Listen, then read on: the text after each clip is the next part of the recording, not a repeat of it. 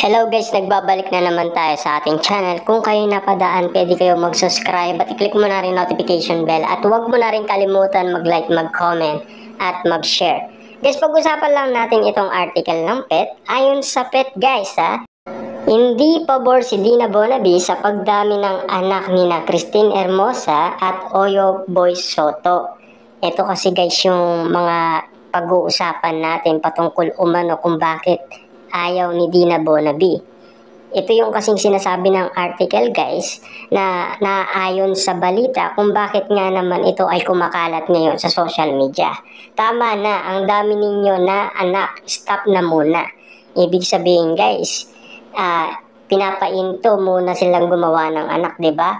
Usap-usapan ngayon sa ilan mga social media platform ang umano'y reaksyon ng ina ni Oyo Soto na si Dina Bonabi sa muling pagdadalawang tao ni Christine Hermosa. Wow guys, grabe.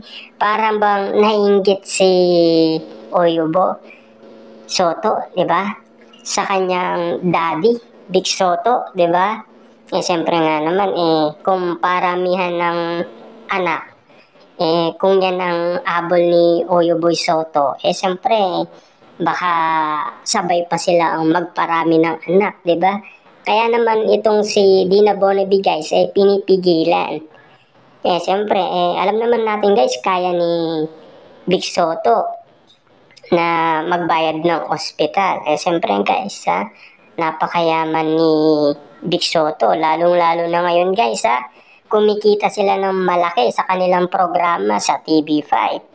Lalo na nadagdagan pa yung mga network na kung saan sila mapapanood ngayon ang Itbulaga, di ba? Dahil ganyan kasabik ang mga tao noon sa Itbulaga bago magkaroon ng issue ang Katniel, di ba? Kasi abulan sa ratings guys mula July, no? Noong 2023. Iniayag ng noon ni Christine Hermosa kung papaano siya kasaya at ka-excite nang makita niya ang positibong pregnancy test kahit pa ilang beses na rin naman umano siya ng anak noon. Ang kanyang kasiyaan ay katulad pa rin umano ng unang pagkakataon nang malaman niya nagbubuntis siya noon. Kaagad naman bumuos ang mga mensahe ng pagbati para kina Christine Hermosa at Oyo Soto sa pag kakaroon muli nila ng supling. Samantalang aminado naman si Christine Hermosa na talagang na-surprise siya nang malaman niyang nagbubuntis siya muli dahil meron na rin silang limang anak ni Oyo Boy Soto. 'Di ba? Grabe 'yun, guys, ha. Ganun pa, ganun pa man, alam umano ni Christine Hermosa na by God will ang kanyang pagbubuntis ngayon, kaya naman masaya pa rin niya itong tinanggap. Ibig sabihin guys na tanggap na tanggap pa rin ni Christine Hermosa na talagang God will ang nangyari sa kanya kung bakit nga naman siya nabuntis at kung bakit nga naman siya nadagdagan ang kanilang anak ni Oyo Soto, 'di ba?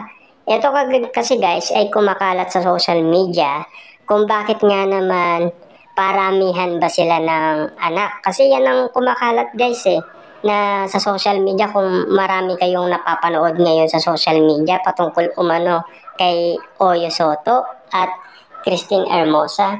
Sa kabilang banda, may ilan mga netizens naman ang nagsasabi na nagpapakarami na ng anak ni na Christine Hermosa at Oyo Boy Soto. Sa katunayan, maging ang ina umano ni Oyo Soto na si Dina Bonaby ay tila hindi na rin nasisiyaan sa pagkakaroon ng sunod-sunod na anak ni na Christine Hermosa at Oyo Soto.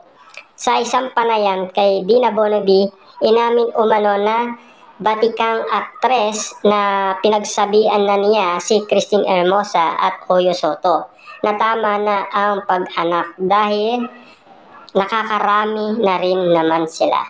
Samantalang naniniwala naman ang mga fans ni na Christine Hermosa at Oyo Soto na wala naman problema kung magkaroon man ng maraming anak ang dalawa dahil kaya naman nito buhayin. Eh siyempre guys, kayang buhayin yan. Napapano yung lolo nila na, 'di ba? Si Big Soto. 'Di ba?